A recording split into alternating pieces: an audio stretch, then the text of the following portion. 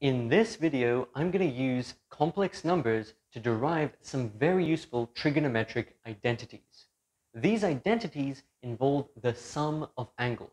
So if we take two angles, theta and phi, and we take their sum and input that into the cosine and sine functions, we're going to have some expressions that tell us what that is equivalent to. And that's going to help with solving a lot of algebraic expressions. It's going to help with doing calculus. It's going to help with doing integration. So let's go ahead and get started. So the first thing I'm going to write down is these complex exponentials. So these are special exponentials because they're not just e to the x, they're e to the ix. That's the form of these guys. So we're going to have e to the i theta, and we're going to multiply that by e to the i phi. So theta and phi are the two angles that we're inputting into cosine and sine. And we're particularly interested in the sum of theta and phi. So this over here is actually a very neat way of packaging up cosines and sines. e to the i something is actually equal to the sum of cosines and sines. But the sine has an imaginary unit out the front. So what we actually have is a real component and an imaginary component. So these guys are very useful ways of representing complex numbers. And all of the complex numbers that are represented by e to the i theta sit on the unit circle in the complex plane. So this is a very, very useful expression that we have over here. So what I'm going to do is I'm going to show you that this is equivalent to some various forms. And then we're going to uh, assign different parts of the expressions to each other, and we're actually going to derive these trigonometric identities. First of all, I want to use an exponential law to join these guys together.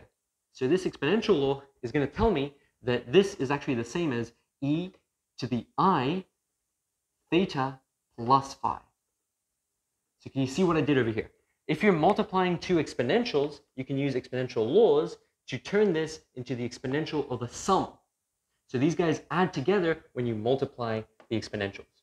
So over here we have theta plus phi. I've just factored out this imaginary unit i.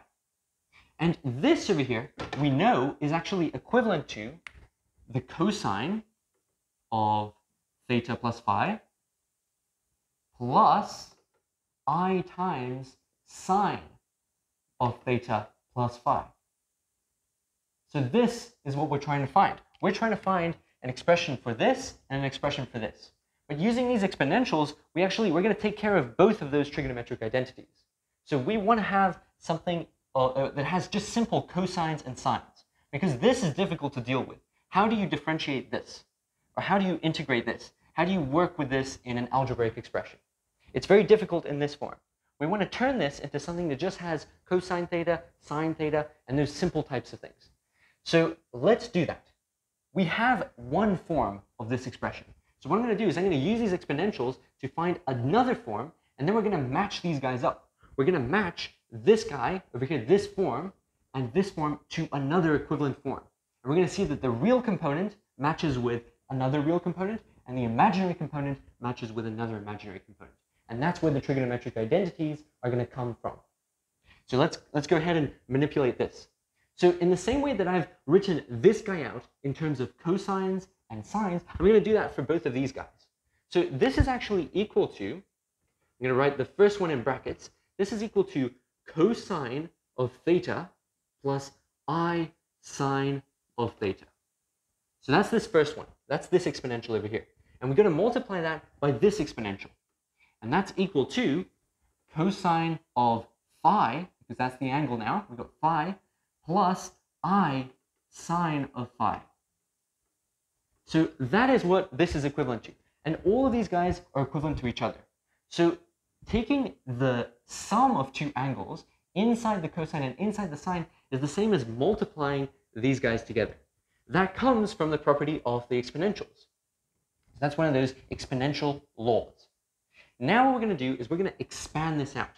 We're going to multiply each of these guys, and that's going to give us a bunch of terms. Then we're going to collect those terms, and we're going to put it into the form where we have a real component plus i times an imaginary component. It has to be in this form over here, and then we can match up the real components and the imaginary components. So first of all, we're going to have this guy multiplying this guy. So that's going to give us cosine of theta times cosine of phi. So that's just this guy times this guy. Now let's have a look at this guy times this guy. So we got the first times the first, and let's have a look at the last one times the last one.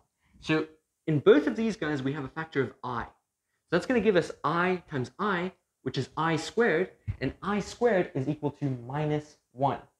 So I'll write this over here. i squared, we know is the imaginary unit, and that's equal to minus 1. So when we multiply these guys together, that i squared is going to turn to a minus sign.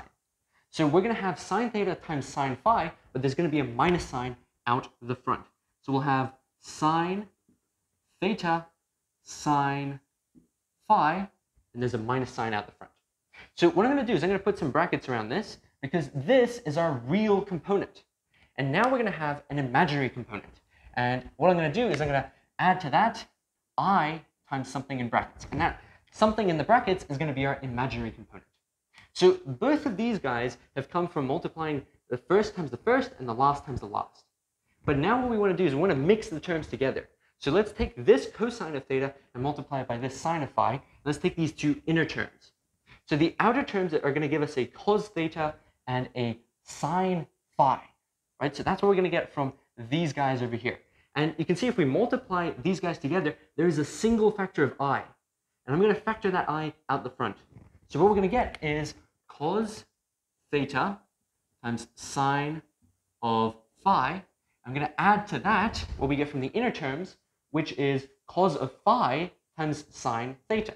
So cos of phi times sine of theta. And here it is. So what do we actually have over here?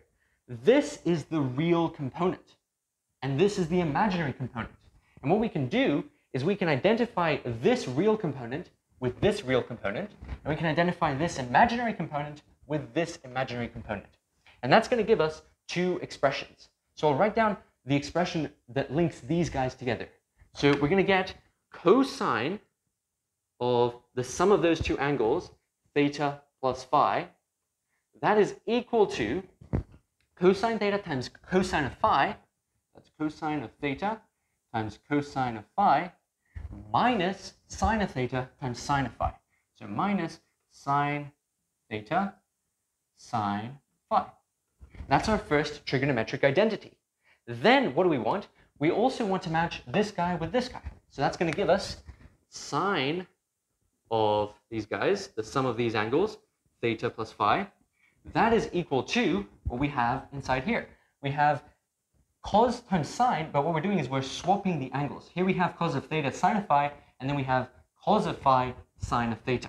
So let's do that. Let's put that over here. So what we have is cosine of theta, sine of phi, and we're going to add to that cosine of phi, and we're going to multiply by sine of theta. So that's what we have. We've matched up the real components and the imaginary components. One thing I want you to look at this is I want you to see that if we set these two angles equal to each other, then what we're going to have is double the angle inside over here.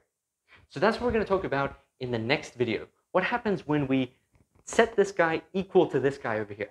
What's going to happen? And make sure you watch the next video, uh, and then you'll find out what actually happens. So you can find that other video if you click over here.